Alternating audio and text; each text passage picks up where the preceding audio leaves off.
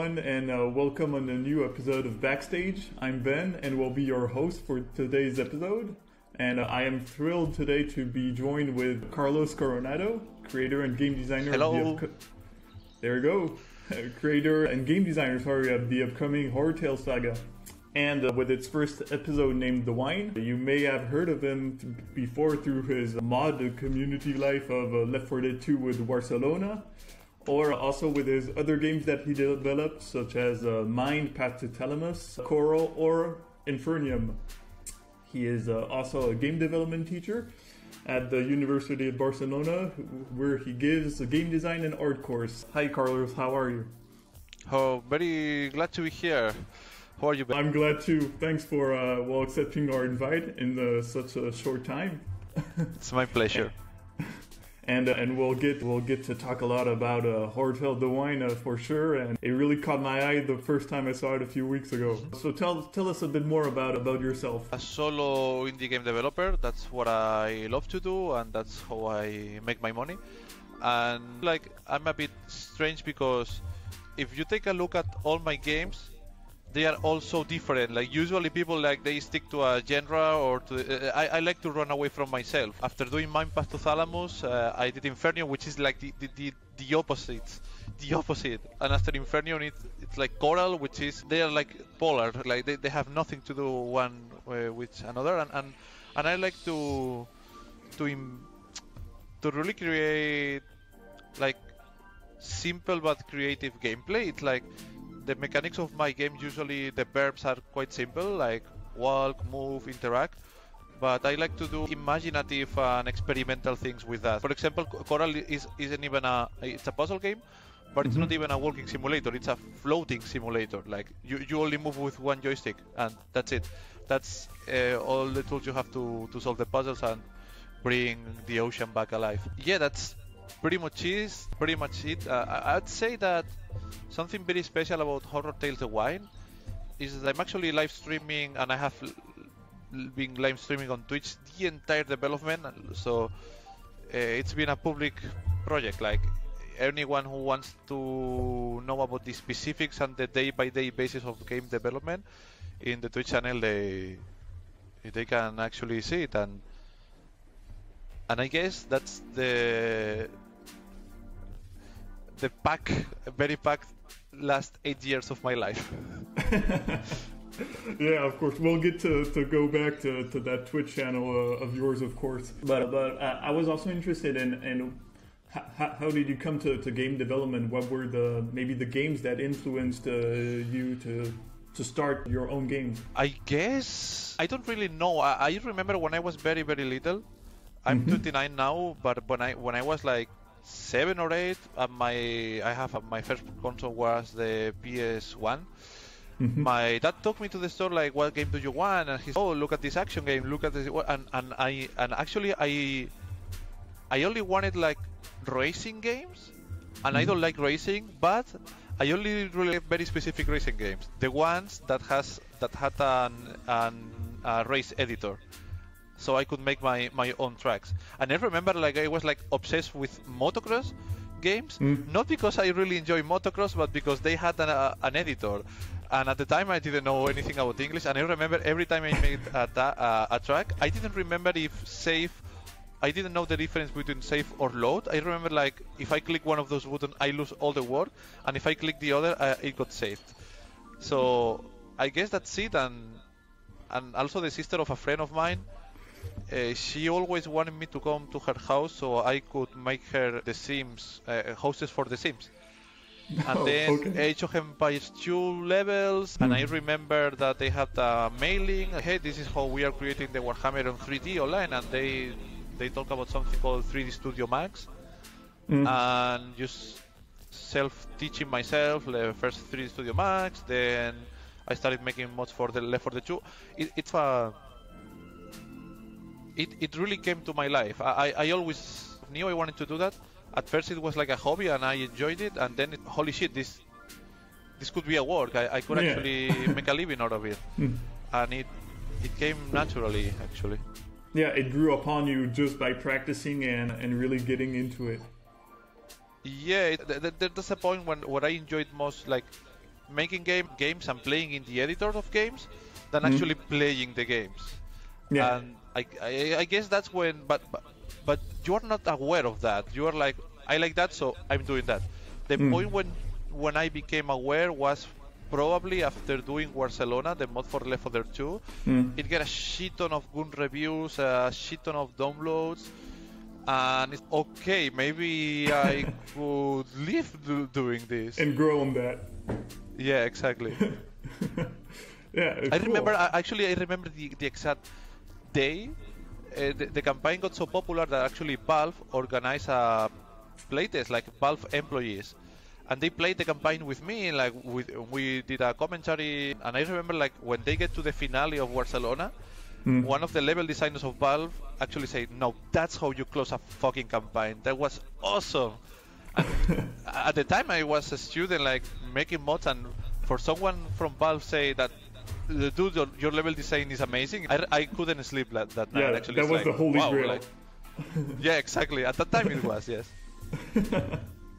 awesome. So let's let's dive a little bit more in your latest project with it, which is uh, Horror Tales. How would you describe uh, so the this first uh, this first episode, uh, Horror Tales: The Wine?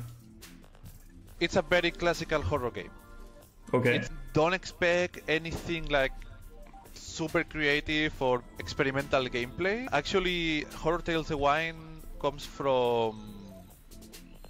It's like a basket of ideas that I couldn't implement in my last horror game, Infernium. Infernium, if you take a look at the reviews of Infernium on Steam, for example, or the press, there, there are only two kind of the reviews. I fucking love it, or it's, the, it's the best game ever, or this is the biggest shit I have ever played. There's no midpoint, uh, and it's because Infernium, the, the gameplay of, of Infernium is very tidy. It's very organized. It's not a horror game. It's like more like a chess horror. And there are many things I wanted to explore in a horror game that I couldn't do in Infernium. And Horror Tales: The Wine borns from from that will to uh, to uh, to explore horror and say, hey, I, I still have more things to say in in the horror genre. But it's a very classical game in terms of gameplay. In terms of the visual, it's not a classical game. It's not a dark game. It's not a, a grim game. It's actually set in a Mediterranean island, in a sunny Mediterranean island, and it has scary elements too. But that's uh, that. That's uh, for example, the, the, the, the best part of the of the game is when people they explore some interiors and they go back to the sun and they enter a maze. It is just like a, a maze made of brushes, like typical Yeah. maze, like Sony. And most of the playtest playtesters, when they arrive there, oh, this is so beautiful, and I feel so safe here. And I know it's not going to be safe because that's what you want me to feel. So it, it has this very unique feel about it because it's beautiful, but when you're in a beautiful place, you actually feel more scared because that's something very bad is going to happen. So, so that was also part of the reason that you chose a, a Mediterranean uh, setup to really have the, the player feel safe in something really bright and sunny, and then so you can bring him in something more more dark and scary. Uh, well, I think that scaring the player or scaring a human being actually it's uh, more about the the the how you prepare it. So I could say ah, and maybe it scares someone. Yeah. But if I say to you, I'm going to scare you in 10 seconds. Now, these those 10 seconds I'm speaking, the anticipation of, oh my god, what is going to happen, what is going to, blah, blah, blah, blah. Yeah. And maybe there's no scare, but it doesn't matter because what you're feeling is that this anxiety that something is going to happen. Mm. And when you put that anxiety in a beautiful environment, I think it even makes it higher because it's like it's like this contract. I, I feel so safe here, but I know it's this place is the opposite of safe, and I think that that contrast is is messing up with the player so much, and I, and I, I like I love horror games, but I'm tired of the grim, dark, like kind of hmm. monstery, gooey horror games in a haunted mansion, in a hospital, in a cemetery, in a in a cloudy night. Come Yeah. on, I think we we can do so much better than that. yeah, co- completely.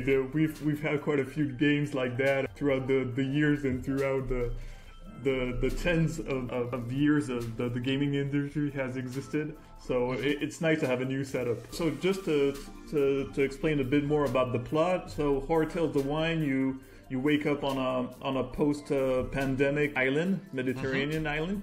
And you, you seek out uh, a remedy to, to the plague that has that has touched the the whole population, which is wine. That this holy grail in a post-pandemic setting was it maybe inspired by 2020 uh, reality or So the, the the lore, to be exact, the lore is like you don't live in this island, you live outside of it, and your family is sick uh, by the devil's fever, which is the pandemic in that fiction Ranian island, and you decide to steal a boat and go to the capital to search for a bottle of wine because rumor says that it can cure the devil's fever.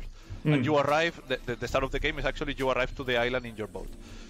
So the inspiration of it, and I'm going to be 100% honest. My my girlfriend and I, we were like in the in the first months of the pandemic, the hard months, the hard lock, lockdown. We were eating uh, with a bottle of wine, and we were like, oh my god, we're drinking so much wine during the pandemic. Like it's it's how mu- every every week like I, I'm not every week like six bottles of wine. Like it's, it's something. Okay, maybe we're drinking too much. And then she said to me, wouldn't it be uh, what if we, if we also if we could actually cure the coronavirus drinking wine? And I was like, holy shit, that, that's actually a, a, a good idea for a game. A game you have to find a, for a bottle of wine, and since you don't have the balls to do that game, and, and ki- kind of in And a joke way. uh, In yeah, and then and then we start like doing the, the oh, so if this is the plot, this the plot, this could be that, and then that, and, and then everything is like yeah. Here we are one one year later.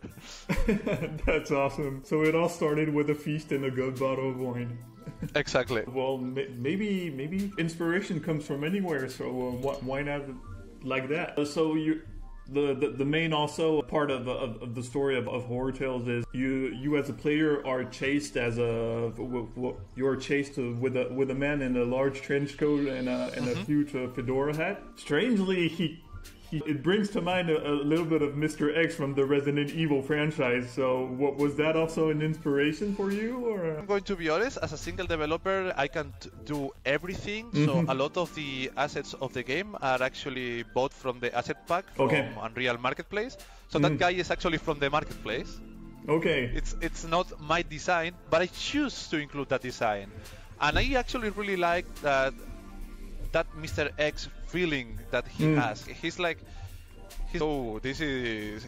He's not good, but he's not actually like this monster. I, I, I really la- love that design because it's scary because you don't know what behind the mask.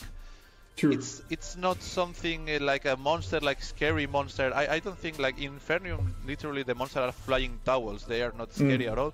They are scared. Uh, you get scared because what they do.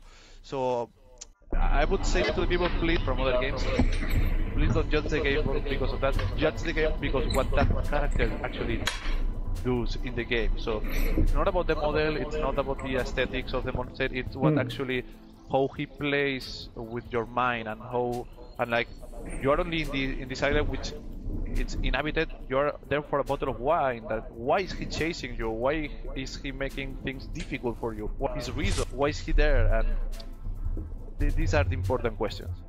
Yeah, yeah, of course, of course. We'll just don't focus too much on the character model, and and, and you you're only you're, you're the only one on the, the only dev on the game. You can't, of course, do everything. Speaking of that, what what struggles have you faced? Maybe being only a, a solo dev on, on, on this project. The biggest challenge was a self-imposed challenge. Uh, I wanted the game to look like spectacular on, on the Nintendo Switch. I want to make a game uh, like a Switch port. It's like, ah, this, but this is actually very positive for the rest of the consoles because uh, the, the game runs flawlessly on Nintendo Switch. Like it doesn't look like a Nintendo Switch game, so to speak. But what that means for the other consoles is that it looks even better. Like in a in a base PS uh, in a base Xbox, we can get like uh, 60 constant frames, uh, 1040 440p. Like Yeah, constant because it's so much easy to scale back up than to try to scale down.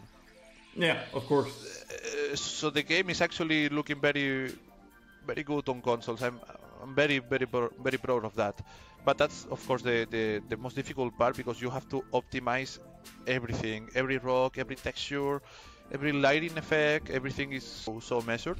And actually, uh, the, uh, this is something really funny. If people want to play the game and they want to know if it runs well, the starting the starting point of the game, when you start, that's actually the most taxing part of the game, the most uh, resource demanding. So if that looks good, yeah. exactly, if that runs well, the rest is going to run well. And there's obviously the, the, the, the, mental challenge, right? Because when you're making mm. a game like one year and a half vista, and your daily basic daily basis is I don't know putting rocks or fixing this lighting issue here or doing that, you you miss the the the end goal. Exactly, you, you miss yeah. the goal, the ending goal, and, and, and it, it, it doesn't get to come closer any any mm. day. So that was that was hard. That was hard, and now it's actually being a really hard time because the game is completed for it, and it's certified for the Switch and, and PC. Mm-hmm. But JanduSoft is taking care of the ports for the rest of the console. It's taking a little bit longer to certify, and the mm. game is done. But I don't have a release date yet, and I can do nothing. so about it, uh, it's very frustrating and anxiety-inducing because I want to release the game now. I think it's a very good game, and people can play it now. But nothing I can do. well, just like you said, you, you so you teamed up with, with JanduSoft for all the, the console ports. Was that a, a choice, or uh, or really was it a was it a necessity for? Okay, so I don't know how much I can talk about this oh, yeah, because of, of non-disclosure agreements, mm. but uh, JanduSoft is not only doing the ports. He's okay. actually doing the publishing on con- on the yeah, on the rest of okay. the consoles. Mm. And when so publishing in consoles is not as as easy as publishing on Steam. Okay. And it's very time consuming, very time mm. consuming, and it's a lot of paperwork, lot mm. of little thing. Every console with its own system. So just to give you an example, Infernium was released on PS4, uh, Switch, and PC, and Coral, which is my mm-hmm. next game for Infernium, yeah. it didn't get released on PS4 because of I didn't want to go through the paperwork all over again.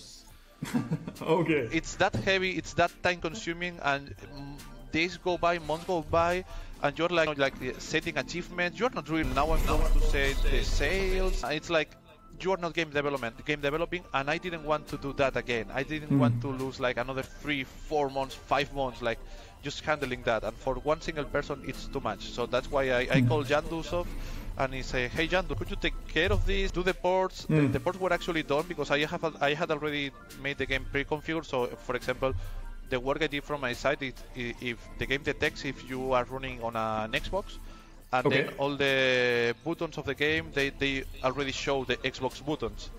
So it's more about doing the, the integration with the consoles, more more more or less, not so much the porting but yeah, it's it's been exactly, and they are taking so much job from me that I could actually uh, put the effort in doing awesome trailers, in in the in making prototypes of my new games, and mm. actually focusing on game development, which is the the part uh, I like. Okay, yeah, uh, that, that's completely understandable. I also saw that uh, Horror Tales: The Winding had a photo mode included within mm-hmm. it, and and from the from the description I saw, it will also be used to to solve a few puzzles, if I'm correct. It's uh, okay, so it's it's not like that. There okay. there are secrets. There are secrets in the game which are actually just pictures of my cat Nina, because in the lore yeah. of the game the cats uh, had gone extinct in the island, mm. and these collectibles sometimes they are behind a wall, and you can uh, and, and and the wall has a very subtle like camera icon and if you approach okay. in the photo mode, you destroy the wall and you can actually go to the other area. But buy the game for the collectibles or the or, or, the achievements, like mm. they are there for anyone who wants to pick them up. And every time you pick one, a new cat appears in the game, and I think that's pretty cool. But it, it's it's not like it's a bonus. If you want it, to, it's, a... it's a bonus. It's it's not yeah. the the it's not like this one one of these Ubisoft games, which is the the main I don't know one of the main goals of the game is actually getting all the collectibles. Please don't buy Mm. the game for that. Yet you still use the photo mode as a gameplay mechanic to to will destroy a wall or or see through see I through the think it, world. it's I think uh, like one of one of the things I wanted to encourage like the photo, the photo mode has no limits. You can actually Mm. take the camera everywhere. So you can actually see how the game is done. You can actually go with a camera three kilometers Oh. away, and I think it's a very good way of actually, if you're interested in, game development, to see how things are done behind the camera. And I wanted the players to encourage to use the photo mode, and it's one of the ways I I I I hooked to try to to try to make the players use the, the photo mode.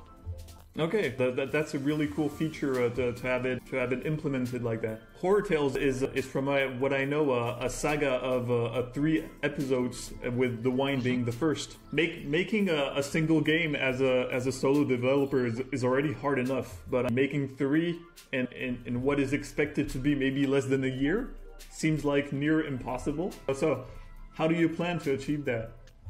So the base, the, the core of the coding is shared Mm. between the three games. So the main menu, the way the character move, the artificial intelligence. So that helps a lot. But then every game is going to be so different. The Mm. one that I'm actually prototyping now, which is the beggar, it's it's going to be super experimental, super experimental. It's it's I, I, I don't want to say nothing yet, but Yeah, I think that.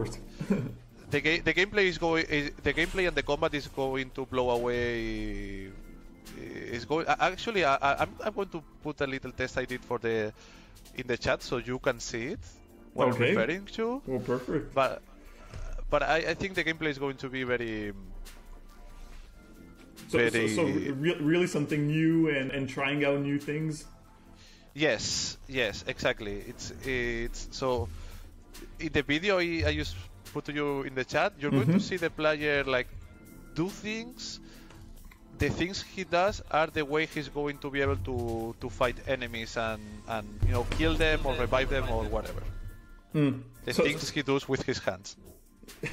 so, so there will be uh, some sort of, of combat system compared to to the wine, where is where it's more about uh, puzzle solving and and, and fleeing the, the the strange man. The wine has it has some iterations of combat, but you cannot kill enemies. Okay. The, the, so the combats in the wine are more like you have a puzzle and you have to think something in the puzzle, Mm-hmm. and the problem is you are being chased, so you don't have time to think. Hmm. So that's that's that's the main combat of, of the wine. In the beggar, it's going to be very different. It's going to be a system. Okay, I have this challenge. I have to get through this with the tools I have. How do I do it? And maybe you have enemies that can kill, enemies that cannot be killed, or something like. uh, we- We'll have to see. We have to see. But for Hmm. me, the focus was really important. Like what, what's in the video, like the visuals of it. When you see it, you, you you'll know what what I'm talking about.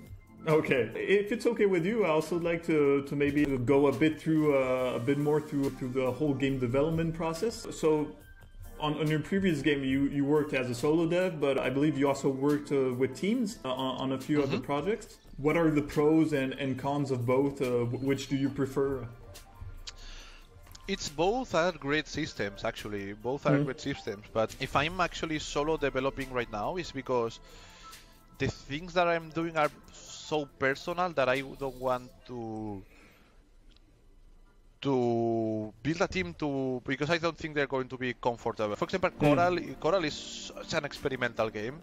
Such a game that is, I like diving, I like the ocean, like I want to make a game in while sailing in the ocean. It, it's it's it's not a project I, I'd like to to do working with someone. But for example, I, eh, here in Barcelona we have Lince Works doing Aragami, We mm-hmm. have S- Studio Nomada doing Gris. I, I'd love to work with them. I love to work in a team again, and but but not with my vision. I'd, I'd, I'd love to help a team complete their vision. That that would be something very en- enriching for me. But then of course we have the the money side of it, and my games are profitable because it's me alone. But if my games, my I I I don't have hit games, so Mm. my games, so to speak, they make me money and I I can continue making games because it's me alone. If I try to make the games I do but with a team of let's say four people, I it it it, it wouldn't, wouldn't work. be profitable. Uh, uh, you couldn't say, but okay, Hmm. Carlos. But if you are for people, then the games would be better because they are for people. Hmm. And I'd say, okay, you're right. And if sometimes I earn a million dollars, then I'll make a game with four people because I will have the economic safety and is okay. If you, if this goes wrong, I can still continue to make games. Until Hmm. that happens, this business uh, like of doing video games by my own by my own has worked pretty well. I, I'll, I'll stick to it. Yeah, so, so so your ambitions for, for games are scaled through through the number of people developing it. So you being alone do these type of games because well they, they fit with your workflow and being uh, only one person developing on it. If you had more, you you wouldn't produce the same game. Exactly, they would be totally different games. But and that that's actually something that I don't like. For example, when the release trailer got released, I, well, uh, well, when the teaser trailer got released two weeks ago, a lot of the comments in the YouTube are like, "Holy shit! Congratulations to the level design and art team! Like the studio should give a heads up to them." And I'm, okay, and so a, a lo- people sometimes they play my game and they judge my games as if they were made by a team of ten Yeah. and they're like, oh, it's a little bit lacking here and there. Be, the studio could have been done better, and and it's fair because at the end of the day, you don't judge the you don't judge the, You judge the, the development team. You, you, yeah. you judge the final product exactly, but. I don't know. I remember an article from they were like uh, the best art of 2014, and it was like so my game, and it was like eh, the, the, the comment. It's okay, but it doesn't re- reach the quotes of uh, awesomeness of The Last of Us, and I'm like. Is this a compliment? Sometimes people are not aware that the, the size of the of the of the team influences how, what can you expect from a game. Mm. But at the same time, I understand. Like when you watch a movie, you don't care how many people have has worked on the movie. You just care in the final pro in the final product. But in indie gaming, sometimes it's a it's a little bit unfair. But it's it's okay. Like it's it's something that it comes uh, with the job. Like you cannot do anything about it. Mm. Well, speaking of, of indie games, there has been a lot of them through through these last years. How, how do you make your game known uh, as an indie dev? I'm sure showing all the, the development through through your Twitch channel is part of that too. Actually, it isn't because my Twitch uh, streams are in Spanish, and my ga- Spanish uh, speaking people they don't buy many games. Uh, So most of the copies uh, you sell, every uh, this is not only me. Every game developer can say like the main countries are UK, United States, Australia, France, and Germany, and Russia. That's it. So it, it doesn't actually get me that much sales. I hope this time gets me to actually make a lot of Steam reviews, like good reviews, Yeah. like people like please review the game, like to, to the followers, and that's certainly going to help with the algorithms. But I think that my games sell not because people get to know them, because my games are not famous. Like uh, it's not something like Stardew Valley or something, and, and that's okay. But I think that uh, when I put my games on sales on the stores, something that my games I think do have compared to other indie games, like uh, we're comparing games like from 15 euros down, 15, 10 euros. One thing that my games have is that they they look good. They, they don't look like a 15. It's uh, 15 bucks game. I, I don't know how to say. Like my, my Mm. games, when you watch a trailer, at least visually, I think they are interesting for the price. And then people play the games and for they buy the games maybe for the visuals and they're like, oh holy shit, there's something like this like an onion, no, with layers. There's something Yeah. here which is not just visuals. Mm. And I, th- I, I really think that's how it works, but I could be wrong. I, I, I don't know, but I do think that the visuals of my games are, are in the 15 price, 15 euros price. They, they, they stand a little bit more than the than the average. Okay, so you so you really say would be the the the value that is brought from from your game isn't only visual it's really it's really different layers it's tailored inside so much that that they, they could be almost maybe priced a bit more I, I, I think every game, uh, if my games are not more praised, it's because they don't deserve it. That's Okay. it. That's uh, because I I, That's I tend to do a, a lot of a lot of niche games. Mm. So it's it's for example and again Infernium. Infernium is the game I'm most proud of, even to this day. Like the level design of Infernium, I think I will never do something again like that. As a game developer, I think it's my best game, and I try to compete with myself. Bennett Flody, you know who him is? Beneflody? Yeah, No, I don't. He- he's the he's the guy who made Getting Over It. This strange game Okay. of a guy with a hammer in a pot that he has to go over a mountain. Mm-hmm. It looks like a flash game, but it, it went viral and it's super difficult and it has this amazing you. Oh my god, I'm back again! No. so he's like a tweet star, and the year that Infernium went out, he, I've played a lot of AAA games and a lot of indie games, but nothing has actually make me feel so much emotion as Infernium. And people, if you uh, like, That's this is my GOTY by a landslide, by a landslide, uh, which is a very good compliment. And people were actually like, "Is this a serious tweet?" because people didn't believe him, uh, um, and and then people started playing Infernium. It's like, this is shit. What, what the fuck is this guy saying? So my games are really niche. Like, the- our game. Okay, l- let me put it this way. I don't try to do games to be loved by a wide uh, range of gamers. I try to make games like, okay, so if you like horror games, for example, and are, you are really a fan of horror games, you're actually really going to enjoy this. For- It's like the, the, the I think it's, and I'm not trying to compare myself with Resident Evil, but I think it's a step back, the last Resident Evil. It's not scary and it's very much action oriented, and I think the, the director actually said that he did that because he wanted to grow the audience from Resident Evil 7 Yeah. because it was too scary. Mm. And I'm like, what the fuck? That you are making horror games, that people actually want to play your games because of the horror aspect of it. Mm. Like, it, it, imagine if now Dark Souls has had an easy mode, or, or no, people play Dark Souls games because of the difficulty aspect of it. So, and I think that's something that From Software does very well. They stick to the idea. Very famous now, Dark Souls. But when Dark Mm. Souls uh, started, uh, you actually take a look at the reviews of when the first Dark Souls or the Demon Souls came out. They are not good reviews, man. Mhm. People are like, "This is so frustrating. This is too difficult. What is this? Five minutes in, and this fucking skeleton is killing me over and over again."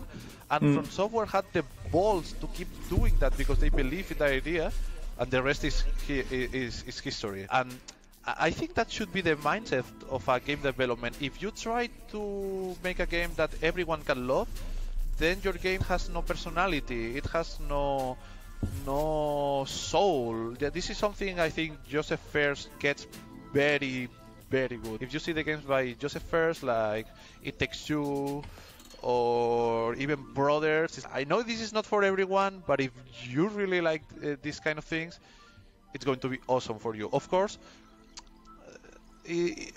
oh, oh, we would love to be Valve. Valve makes something and they make something for everyone, and, and, and still it's very special. Like Mm. I, I think that that's a god level game development. but but but yeah, but that's a really hard middle um, middle point to, to find to, to, to being able to being like Valve and, and really having a game that that everyone loves almost. there's there's this, there's this uh, developer commentary in Portal 2, and they wanted to to make a little joke about music when you enter a chamber. Hmm. it's so disgusting because they say we try different musics, we try different jokes, and the and the we did a lot of playtests, and the only music that everyone loved was this jazz music from blam blam blam blam blam. Mm. They spent like two months trying to search the perfect music to put there. To I don't have neither the resources or the time to do that. And I'm sure it's the best music, and everyone loves that music. But, but it's it's a different kind of de- game development. You are making games. Mm. I'm making games to sell fifty thousand copies. Valve is making games to sell millions. It's Yeah. very different. It's, not the very same target. It's not the, same target. Yeah. As a game developer, teacher yourself, what would be your, your, your three tips to give to devs? My two cents. Yeah, yeah, your your your three your three best tips. Uh, don't be over ambitious. Try to focus on something you can do. Actually, uh, there's like this triangle and it's united. So here it's the game you can do. Here it's the Mhm. game the market wants want to do. Mm. And the game you want to do, the game you can do, and the game you the market wants, they are not opposites. They they can actually converge in the center, and that's what you need to. That's what you you need to search. Mm. That's very important because it's okay to have great ideas. It's okay to be a very good game development developer, but you have to make something that the, the, the, the market wants, something that people are willing to play, to play, and not you and just your friends. That would be one. Second one would be like do a lot of play testing with people who are not afraid of the things they don't like. Like probably doing play test with some somebody who doesn't want to hurt you is not a good idea Mm. because the mistakes are not going to be shown and be smart about the hours you put in game development don't focus in the little things like it's okay to use asset packs from the marketplace it's okay to not record every sound it's okay to to cheat sometimes uh, while doing something if the player doesn't notice it's okay Mm. and, and I think that that that would be it. And of course, the time. Like, don't, don't spend five years making a game, and don't follow the examples of uh, Cuphead or Stardew Valley or this kind of Hmm. solo, very small teams. Uh, or indie game, the movie, I think it's very toxic thing for game developers because it's like the example, the message that those products or the story behind those products, for example, Cuphead, oh, we were so fucked, we had actually pu- had to ask for another mortgage and sell our houses because if not, we couldn't uh, end the game development, and it's been five years. For every successful Cuphead who did that, Mm. it's like a hundred game developers bankrupt, totally bankrupt. True, Please don't do that. true. Like have time for yourself. Be happy while you're making games. Don't trust that you are going to make a game and it's going to make you millions. Like making a hit, it's trying to make a hit is not a good business strategy. Like it's and it's it's not good for mental health. Uh, mental health neither. Mm. And I think to not crunch that much, try to be happy, have time for yourself.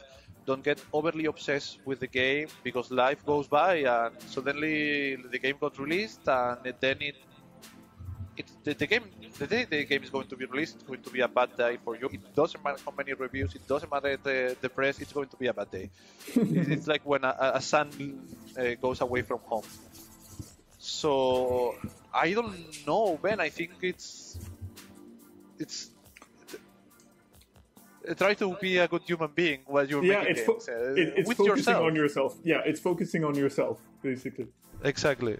Mm. How do you see the, the, the state of game development in 2021? And and maybe what what what would you like to, to, to see change? Something change? I think that it's going to be a change of paradigm in the two main engines that we have in game development, Unity and Unreal. I think that Unreal is winning by a landslide. And I'm not saying that because I'm using Unreal. Like the things they have shown in Unreal Engine 5 are amazing. The tools we already have in Unreal Engine 4 are so good. I think uh, Unreal is going to take over the marketplace. I think Steam is not doing a good job actually encouraging game developers to publish there. Like you publish in Steam, as a game developer, this is the truth. You publish in Steam if Epic Game Store says no. That's it. The console, the console, the consoles are very, very interesting. I, I don't know about mobile gaming; it's not my industry. Hmm. But the console, the the the pass from Xbox is something very, very interesting. Like making games for that business model is going to be amazing. The new consoles allow us to do things that we couldn't do before in, in terms of graphics, in terms of power. Like making bigger games with smaller teams is easier than ever and and I think it's it's a it's an amazing time to to to be making games because uh, the, the, the the models of free, freemium and premium are so different right now. And people do want to play. Okay so let, let's let's say it that way like every day more games got released but every day people at the end of the day they want to play good games so it's it's it's a it's a very good it's a, it's a very good. I, I don't know if okay. Let's say it this way: if you talk with a Carlos of four years ago and you mm-hmm. say to him, your next game is going to be released on three Xboxes, two PlayStation, Nintendo Switch, Steam, and another platform that I can talk about. Okay. It's it's like, it, what the fuck? It's still just me. It's like all these all all, all these doors are so much easier. Mm. All these doors, are, are, it's so much easier. So I think uh, it, it's a good time to be a game developer indeed. And and the games are getting so creative. Like in, in indie gaming is showing, indie developers are showing the industry that you don't have to have like big boobs to sell mm. a game. You can do very interesting female characters, and it's okay.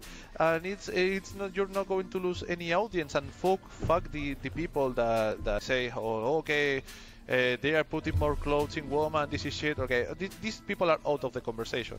Mm. Like uh, in terms of, I, I think I really think that this is very okay. So to sum it up, I think that games are becoming more and more political but in a good way. Wine is very political. If you read the lore, it's all about a pandemic and how a society handles a pandemic, mm-hmm. and how at the beginning of the pandemic in the lore of the game, for example, they blame the the immigrants and the people from the poor neighborhoods and that's very important in the lore. Uh, that's a political view. I, I, I, don't blame. Of course, I I, I think this is shit. I, am a very left person. I, I don't blame anyone from the coronavirus and that. But people want to blame people. I think games should be political and should because political at the end of the day having a message. So trying to make a game not political is actually very political because you are ignoring or trying to ignore some certain messages which are important okay, I'm not going to put black characters because it's going to hurt sensibility. Sensibilities. Mm. That is a political decision. True. Of trying to, to, to, to hide Black Lives Matter, for example. Everything is political. And I think that games in the last year, they are losing the fear to become political. Movies are political. Every movie is political. It's okay. It's okay. Mm. It's, it's something good. And games are losing the fear to become involved with society and actually having positive messages for society and it's okay to have entertainment but it's okay to also be political too. And it's it's it's only normal. It, if you take a look for example i don't know like uh, big triple games and the evolution they are also becoming more political. They want to to say something. They want mm. to they, they, they want to have an impact on society not just make so society have fun. And, and i think this is something very positive for everyone because you know I, I I don't want to make a game that far people can love. Fuck these people. Mm. It's like uh, you, you you don't you don't you don't we have it's I, I don't know how to say it. we have a responsibility as creators being political is one of those responsibilities and the fact that games as a medium are losing the fear to become political i think is very positive Mm, that, that's really interesting, and, and in fact, yeah, um, game developers are here to, to tell stories, but they can tell stories with also a, a more deeper meaning to it, and and to to maybe paint a, a vision of society too. Everything is uh, it, as a creator, everything is a mirror of society, hmm. and this is very very interesting because you cannot create something with total abstraction for what's going on in real life. It's it's impossible. Like even if you are not aware of that, it happens.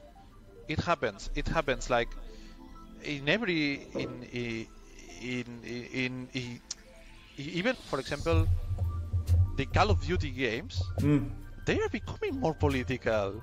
Completely, completely. More, and it's fucking duty. Like Call of Duty from ten years ago, it's let's go to Middle East and kill some terrorists. that was basically it, yeah. and man, Call of Duty is changing, right? Uh, it's it's it's it's it's it's very positive to see these games that are that are willing to risk more and are willing to like like even Assassin's Creed is mm. political. It's very political Assassin's Creed. I love that about Assassin's Creed. Even if they are trying to not offend anyone, and I think they could be like more, but even Grand Theft Auto, Grand Theft Auto, come on, who has seen a more political game than Grand Theft Auto? and the vision and the Hmm. grim vision of America, even if it's satire, it's a mirror or, or, or the vision of, of the of the of the Wild West of Red Dead Redemption 2 Mm. and uh, and trying to demystify that idea of this utopia for bandits of heroes. It, it's amazing. It's amazing the, the, how much games are, are evolving. If you if you compare it to, for example, Call of Juarez, a game for Mhm. or other Western games, you can really see that the developers are trying to send a message and a good message or there uh, or, or, or something or at least say something and for me political it's not just about politics. Like people don't I, I don't think people realize that everything is politics. For example it, it takes two. The last game from Joseph Fares it's, Mm. it starts with a divorce.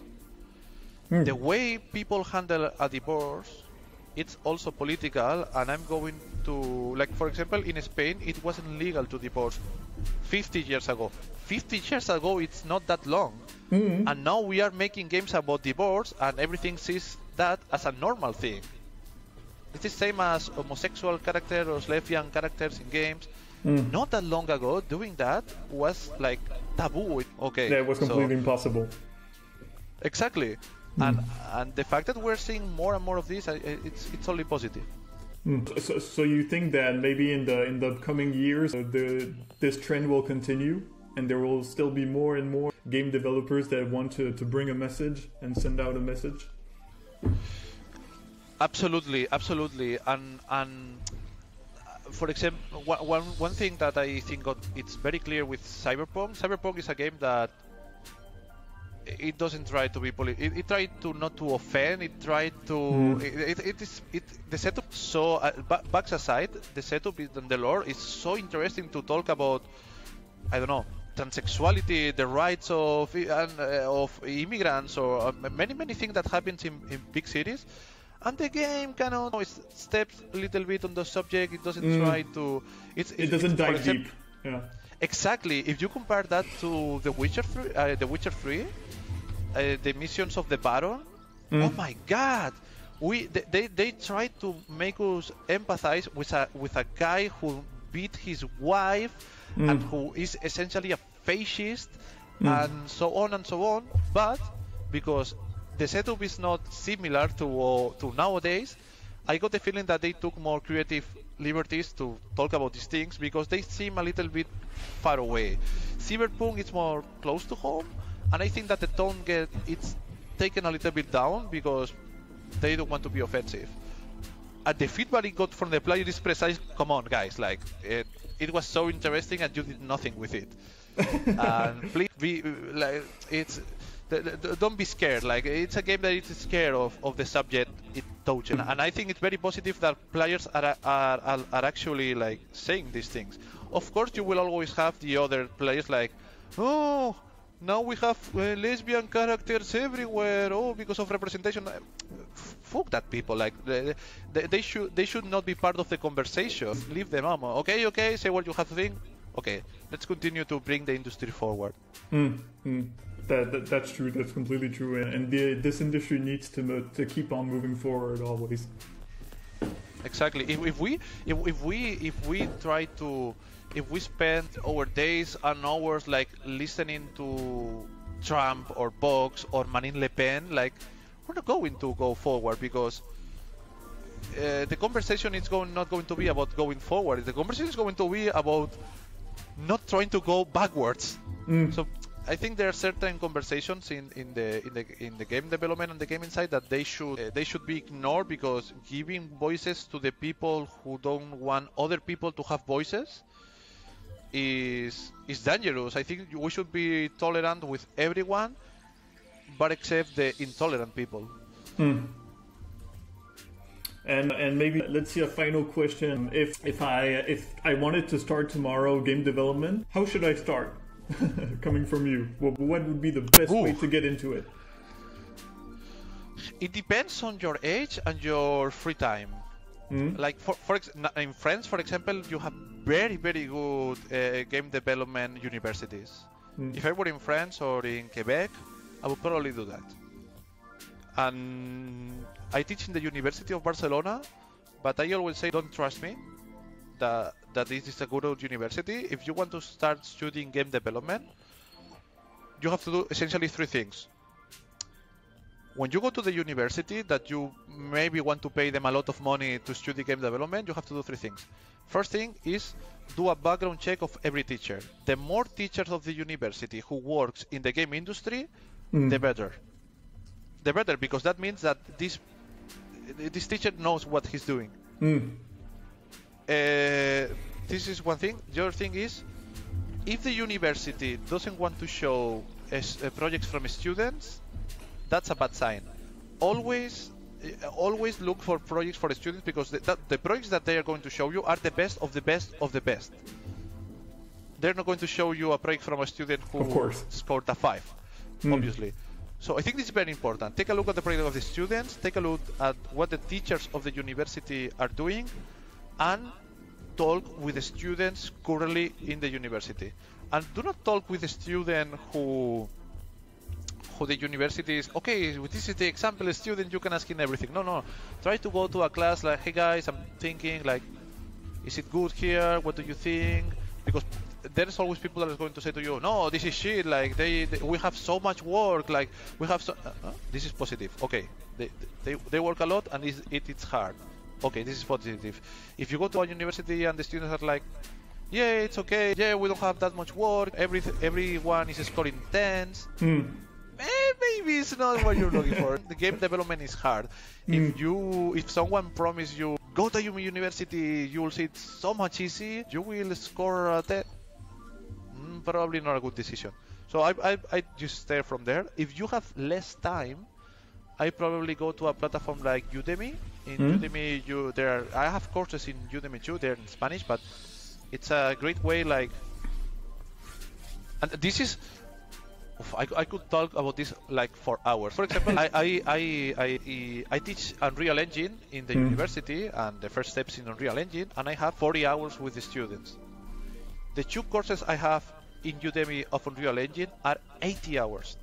Hmm. and to my students, even to, to my students in university, they say, okay, if you to learn the, the technical part of Unreal Engine, this is my course.